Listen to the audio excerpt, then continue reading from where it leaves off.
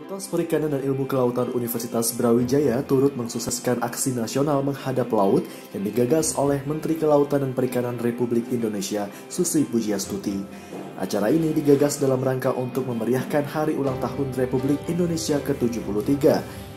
Rektor UB Profesor Nufil Hanani berkumpul bersama Menteri Kelautan dan Perikanan RI Susi Pujiastuti, Sivitas Akademika FPIK UB, serta masyarakat untuk mencintai bumi dan laut. Menurut Susi Pujiastuti, Indonesia merupakan negara maritim kedua terbesar di dunia, sehingga banyak potensi yang harus digali dan dimanfaatkan secara optimal. Kegiatan yang dilakukan di Pantai Sendang Biru ini diisi dengan bersih pantai atau beach clean up, serta menghimbau masyarakat untuk memungut sampah dan membuangnya pada tempat yang tersedia agar laut terjaga karena laut merupakan sumber kehidupan masyarakat. Kegiatan ini bagian dari kegiatan nasional yang dipimpin oleh Presiden Eh, melalui Kementerian Kelautan dan Perikanan. Jadi Brawijaya juga ikut berpartisipasi melalui pimpinannya termasuk juga mahasiswa Fakultas uh, Perikanan dan Kelautan. Intinya adalah bagaimana kita ingin melestarikan sumber daya laut yang ada supaya uh, bisa kita manfaatkan untuk cucu atau generasi kita ke depan. Kegiatan bersih pantai atau beach clean up bersama masyarakat dan Sivitas Akademika FPEKOB ini berhasil mengumpulkan sebanyak 513,69 kg sampah yang terdiri dari kresek, non-kresek kaca, kain, dan jaring, baterai, serta berbagai sampah lainnya.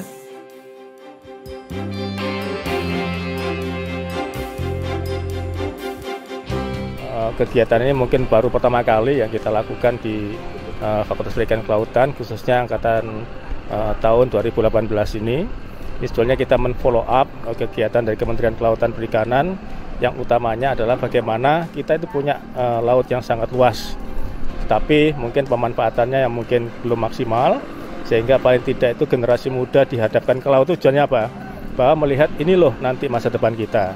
Nah, dengan demikian uh, mahasiswa termasuk anak muda bisa me melihat laut ini untuk bagaimana mengeksploitasi tetapi lestari.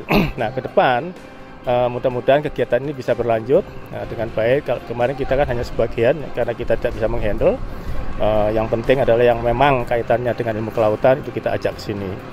Uh, dengan demikian uh, paling tidak uh, mereka mengetahui jadi laut itu bukan hanya untuk pariwisata atau untuk rekreasi saja, tetapi juga merupakan uh, sumber pendapatan untuk kesejahteraan masyarakat ke depan. Kalau kalau berbicara target sebenarnya tadinya kami menargetkan ada sekitar lebih dari tujuh titik. Jadi di sepanjang pesisir pantai uh, Kabupaten Malang ini kami menargetkan ada tujuh titik, tapi uh, uh, mempertimbangkan satu dan lain hal kami cuman uh, dua titik tadi ada di dua titik. Ada satu lagi titik di luar ini, tapi itu uh, sudah dilakukan oleh lembaga lain. Jadi kami cuma di dua titik.